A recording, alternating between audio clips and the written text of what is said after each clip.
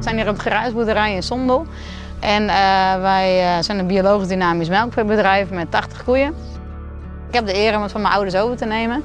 Ik ben dus de vierde generatie. En wij zijn nu hard op weg om het bedrijf toekomstbestendig te maken. En dat het dan alleen maar gezonder, alleen maar mooier uh, bedrijf wordt eigenlijk.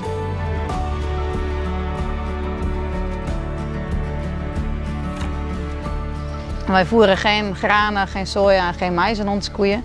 Dus alleen maar gras of kuilgras. En dat doen we eigenlijk om de gezondheid van de melk en om een uh, lagere kostprijs uh, te krijgen. En om een stukje CO2-uitstoot uh, te besparen. En zo hoeft er geen voer van, van ver naar ons bedrijf te komen en hebben we gesloten kringloop. De markt die groeit ook steeds meer naar biologisch en ja, mensen kiezen toch voor een gezonder product. Ik denk dat juist dit bedrijf eigenlijk wel heel toekomstbestendig is. En het is gewoon een enorm fijne manier ook van werken, zeg maar. Dat je met niet al te veel druk toch uh, nou ja, dagelijks kan genieten van het weer, uh, van de dieren om je heen. We zijn niet afhankelijk van een Rabobank of van een krachtvoerleverancier. We kunnen gewoon ons eigen ding doen en dat werkt enorm prettig.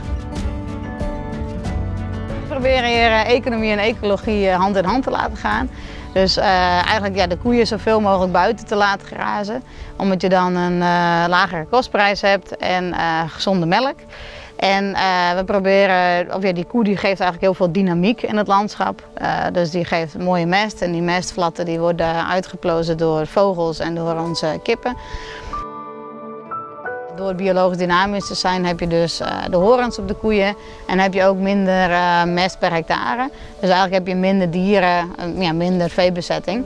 En hebben nog wat meer ruige mest in de vorm van stalmest eigenlijk. En dat wordt, winters kunnen de koeien dan in een buitenpotstal verblijven. En zo hebben ze daar ook meer ruimte, hebben wij mooie mest voor, uh, voor de bodem, voor de wormen. En dat, ja, dat werkt heel prettig. Ook juist, je krijgt een stukje extra melkprijs natuurlijk. En daardoor kun je ook weer andere nou ja, leuke dingen, maar ook goede dingen doen voor je bedrijf. Met behulp van de natuur eigenlijk geld te verdienen. Maar daar niet alleen geld uithalen, maar ook dus wat teruggeven aan de natuur. We hebben echt die verantwoordelijkheid om op dit stukje nou, grond eigenlijk te mogen passen. En dat wil ik ook zo goed mogelijk weer doorgeven aan de volgende generatie. Dus we willen de grond niet uitputten, we willen eigenlijk alleen maar nou ja, rijker maken en in balans maken. Dat we gewoon nou ja, tientallen, honderden jaren eigenlijk vooruit kunnen op dit stukje grond.